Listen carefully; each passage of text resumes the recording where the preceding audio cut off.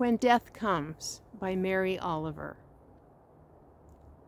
When death comes like the hungry bear in autumn, when death comes and takes all the bright coins from his purse to buy me and snaps the purse shut, when death comes like the measles pox, when death comes like an iceberg between the shoulder blades, I want to step through the door full of curiosity, wondering, what is it going to be like, that cottage of darkness?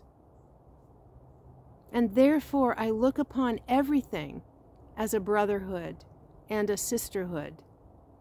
And I look upon time as no more than an idea. And I consider eternity as another possibility. And I think of each life as a flower, as common as a field daisy and as singular. And each name a comfortable music in the mouth, tending, as all music does, toward silence. And each body a lion of courage and something precious to the earth. When it's over, I want to say all my life I was a bride married to amazement. I was the bridegroom taking the world into my arms.